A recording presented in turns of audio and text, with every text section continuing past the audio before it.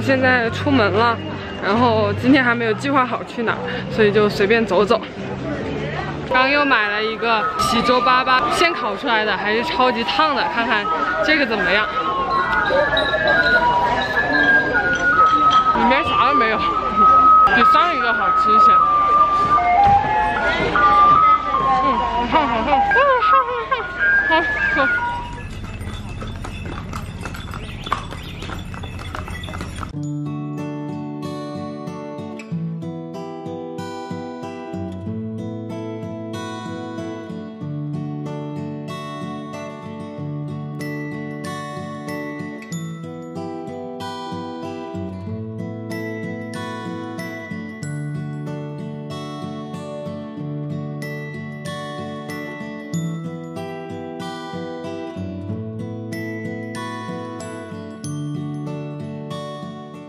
现在呢，到了微山古城，因为听说这边好吃的东西特别多，然后游客也比较少，大家看就没什么人，对吧？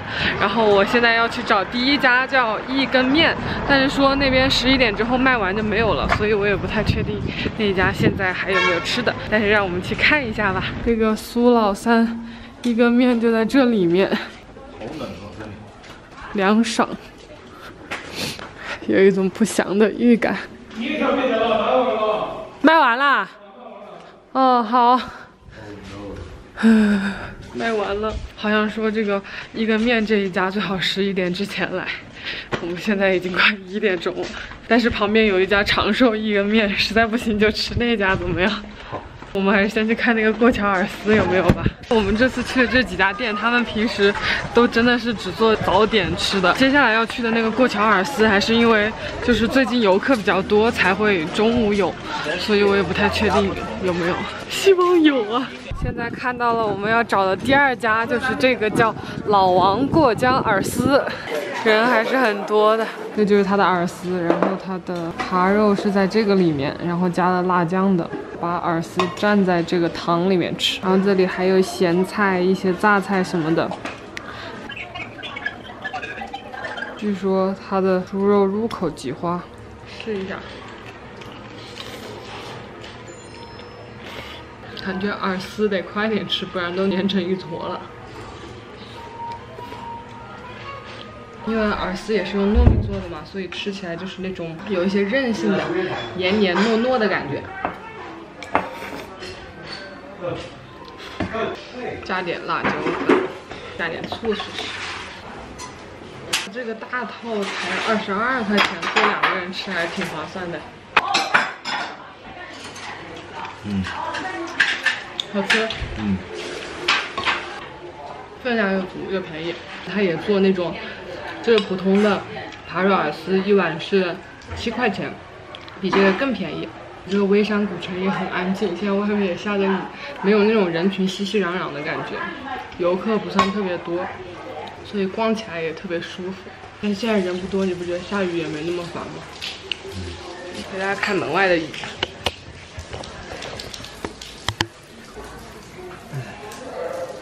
有人说微山古城就像大理二十年前的样子，比起大理古城这里更加清幽一些，然后完全不商业化，感觉还是在这里逛的比较舒服诶。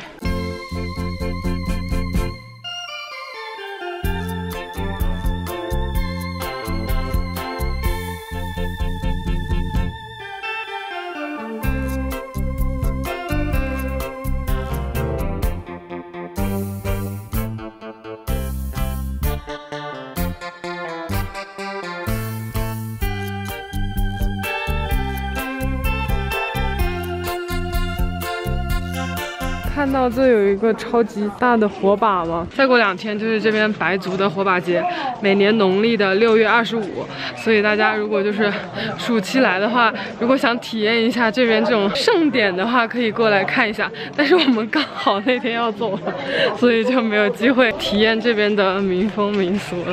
好像就是这个火把节是除了春节以外，他们白族人最大的节日。呃，其实不止白族有火把节，只是白族的火把节是在六月二十五。又一个面了。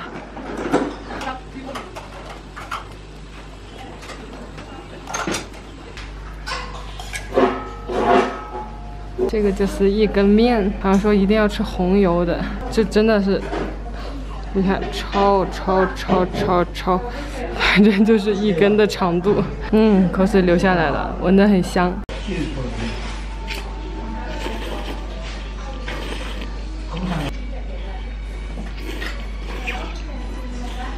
它的面非常筋道，嚼起来就比一般的拉面要筋道，有点像刀削面的那种感觉。这个面的口感我很喜欢的。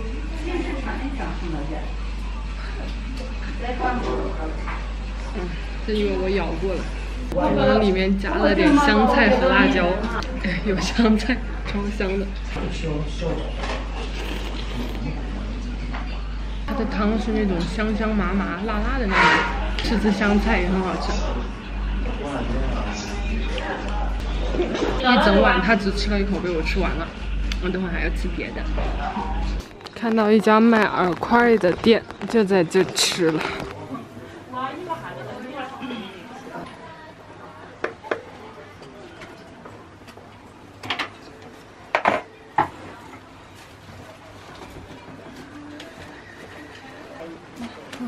继续。咬一口看。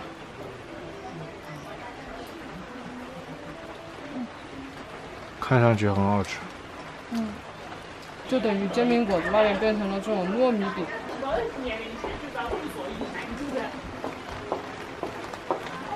还冒着热气呢。嗯，好吃。那关了。嗯，还剩两口。嗯。我觉得这个应该什么人都会比较喜欢吃的，适合大众的口味。而且这个烤饵块的酱吃起来是有回味的那种，就我现在吃完了，我还想吃。走啦走啦。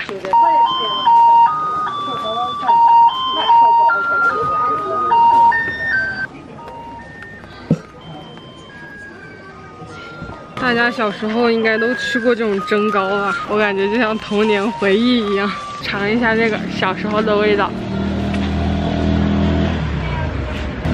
它中间就是糖，感觉这个够吃晚饭了。我们从微山回到酒店了，然后我自己很喜欢今天这个微山古城之行，就是觉得这个行程应该是我这几天来最喜欢的。如果你是一个跟我一样很爱吃，然后又很喜欢那种古朴的、比较安静的游客不会太多那种古城的氛围的话，非常推荐你们。如果有一天空闲的话，去到这个微山，因为它那里面就是生活气息特别强，那真的就是当地人在住的那种古城，不会那么的商业化。我自己是特别喜欢的。然后包括那个扒肉饵丝啊、饵块啊。还还有那个一根面都是挺有特色的东西，然后也挺好吃的，所以推荐给大家。如果你们想去的话，十块钱。那先到。这家烤鱼要等五十分钟，我们先出去逛一下。我刚买了一个大理土酸奶，玫瑰味的，试一下，感觉这个酸奶是特别稀的那一种。哦，好奇怪的味道。又像牛奶，又有点酸酸的，又有点玫瑰味，味道太复杂了。这玫瑰味。烤鱼好了，等了四十分钟的烤鱼，这鱼还是很嫩哎，外酥里嫩的那种。然后鱼已经烤得很入味了，还不错这个。不过这个好像是川菜。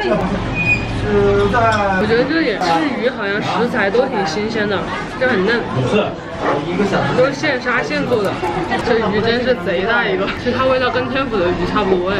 然后这家是比较辣的，所以不能吃辣的尽量就少辣。我们要的少辣都已经有点辣了。而且我发现今天吃的鱼还有昨天吃的鱼有个特点，就是可能因为它们比较鲜，吃到后面你会觉得它们吃起来是那种甜甜的。这个今生有缘的鱼店的味道，我觉得还是很不错的。然后它的鱼也特别特别新鲜，我觉得特别适合那种就是喜欢吃川味，然后喜欢吃重口辣味的朋友。但是就是我觉得有一点不是特别好，就是它的鱼刺好多，就吃起来有点麻烦。我觉得它做的味道比大部分的这边的云南菜要辣一些，然后味道要重一些。所以如果想换换口味的话，就可以来试一下这一家叫今生有缘嘛。对，老板态度特别好。